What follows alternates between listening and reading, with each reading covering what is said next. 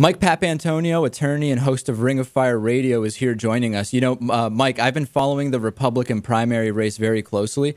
I'm starting to question whether Republican insiders should be scared no matter who is going to end up being the nominee. Just the mere involvement of people like Sarah Palin, Donald Trump when he was in it, this has to be scaring Republican insiders quite a bit, doesn't it?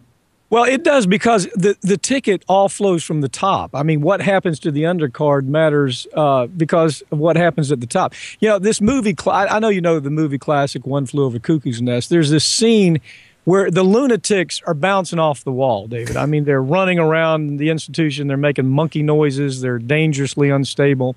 And Nurse Ratched makes the statement now, everybody calm down the best thing we can do is return to our daily routine. well, it, the daily routine for the GOP is exactly what's creating the lunatic house. I mean, that's what's exactly happening around the GOP institution. The lunatics are in charge. Michele Bachmann is a product of that GOP lunatic crazy house. If you if you followed her, even rank and file Republicans are thrilled that Bachmann might really be a presidential candidate. Well, it's funny because I hear, I read some editorials from people saying this is all the same cycle. We see 92 Clintons elected and then 94 Republicans do well and so on and so on. It's always all the same. But this actually does seem different to me. Number one, because of the these just bizarre Republican candidates that are affecting the, the race, but also because a lot of the standard criticisms of Democratic candidates, like, for example, Democratic presidents will not use military force. They will hesitate to do that, or they mm-hmm. will not be strong on uh, right. wars.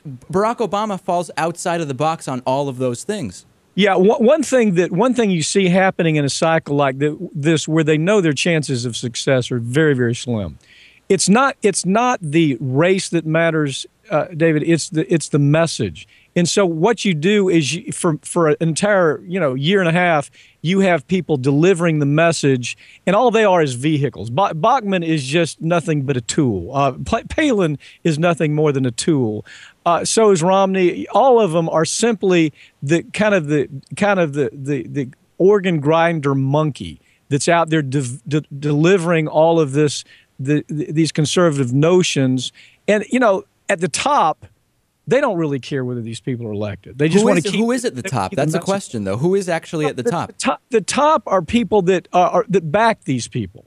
I mean, you know, uh, with Clinton, it was Wall Street. You know, Wall Street was the money. It was back then. It was Goldman Sachs. It was the Citicorp. It were the people that you'll always see them developing the next person. Uh, they're doing it right now. I mean, for example, uh, they don't really care much about this cycle, but they're developing the candidates for the next cycle. You might have heard Hurley, Haley Barbour come out maybe a couple of weeks ago, and he says, "Well, we have some people." Basically, comes out and says, "We have some people we're developing." Doesn't put it like that, but that's that's the essence of what he's saying. And so, what he knows is these are all throwaways. I mean, look you know, Pawlenty is like watching. It's it's like watching it rain. Pawlenty, you know, the, the, you have to decide. Well, do I want to go listen to a Pawlenty speech, or do I want to do I want to watch paint dry? Uh, Mitt Romney, he's he's dead on arrival. He'll never play in the South. The problem with him is he's a Mormon, and I'm in in, in the South. That is that's a cult. In the South, it's regarded as a cult. Well, Republicans they have to have the South. You can't they can't live without the South. Uh, just go down the line. Uh, uh, Palin, no, nobody's serious about Palin. I mean, really. Th- Palin's nobody, not even serious about Palin. No, no, she's not even serious about Palin. Uh, Newt Gingrich, he'll never overcome the fact that you know, he went to his wife on her after surgery, after cancer surgery, and on that day tells her that he's leaving her for a, a, a, younger woman. Then he tells that younger woman years later that he's leaving her for a younger woman. Uh, they'll never forget the fact that he did the, the, uh, unprecedented in the history of Congress. He had been fined the highest amount that any congressman had ever been fined because of his con- because of his conduct, his unethical conduct, his use of money for for his personal life, uh, the uh, siphoning off of off off his uh, off his PAC for his personal life. It, the, the, stories went on and on and on. So I mean, so so he's not a contender. So you go down this list and you say, well, where does it end? Well, it doesn't end. You know, Howard Cain. I mean, are you kidding me? He looks like a character out of a Madea movie. Herman I mean, Herman Cain. Uh, huh? Herman Cain, not Howard. Uh, uh what did I say? I, I meant Herman Cain. Yeah, Cain, Herman Cain. But I mean, he's not a, he's not a serious contender. So I mean, let, us call it what it is. So the next question is, is, do they even have time to put a serious contender in there? And of course not. I mean, you, you don't throw a surprise candidate up there right now and say, gee, this guy's going to run. Huntsman. Look, Huntsman's too smart for him. I mean, this they're not going to take him seriously because he believes in things like global climate change. He knows that the Earth isn't, uh, you know, isn't six thousand years old. He realizes that it's four billion years old.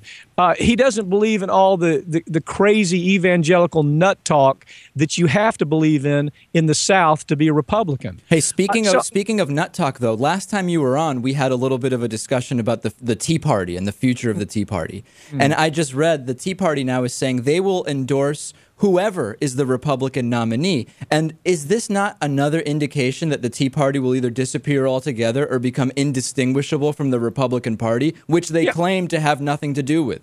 David, you've been talking about this since they emerged, as as I have. The Tea Party is nothing but it. it look, it, it was a way. It was a way to redefine the crazy, crazy part of the Republican Party. That's where it started. And then what they did is they gobbled up the identity of the Republican Party. I mean, it's, it's, the same thing. They're interchangeable. The same crazy people who were dressed up like Paul Revere and Martha Washington, holding up signs of uh, of Obama is a monkey. Those are the same people who've always been Republicans. There's no difference. If I were to go to a Tea Party rally here in uh, in, in the South, they're the same people who used to go to Republican rallies. Hell, they're the same people who used to go to David Duke rallies. So there's there's nothing has changed here. They don't look. They don't really change much. All they do is split the vote uh, on you know smaller races. They split the vote, uh, and so the Republicans have a problem with the Tea Party. The Tea Party is never going to be a, uh, is never going to be the kind of force that moves uh, uh, the political agenda in this country. It'll be a discussion, but they're not going to move uh, with any meaningful force. Real quick before we go, who is there a serious candidate on the Republican side? Who do you think is going to be at the top of that ticket? Well, I think they have to go with I think they have to go with uh, Mitt Romney, even though he's not going to win. I mean. Hmm. Look, Mitt Romney. What was it? A, a million dollars per per was it a million dollars per uh, uh, uh, per per delegate vote that it cost him in the last election. That's not going to change. He, but they got to go with him. They have to go with somebody that doesn't look like a damn fool. You know, at least he presents well. At least he has a narrative that sounds like something more than uh, a, an eighth grade education.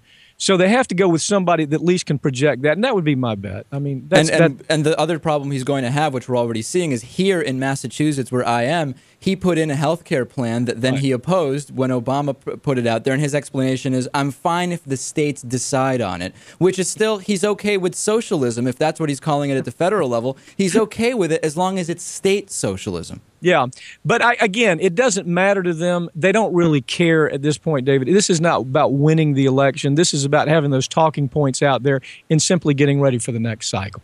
All right. Host of Ring of Fire Radio and attorney Mike Papantonio. Thanks for joining us, Mike. Thank you, David.